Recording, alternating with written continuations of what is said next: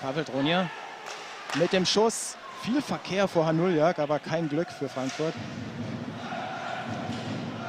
Viele der nächste Anlauf der Löwen. In der Mitte Liesegang, legt nochmal ab, Tor! Tor! Das ist das 1 zu 1. Matt Pistilli. Und was für ein Auge von Nils Liesegang. Der leitet die Scheibe Wahnsinn. aus der Mitte mit einer Bewegung direkt weiter. Matt Pistilli drückt ab. Und der Torjäger der Löwen besorgt den Ausgleich.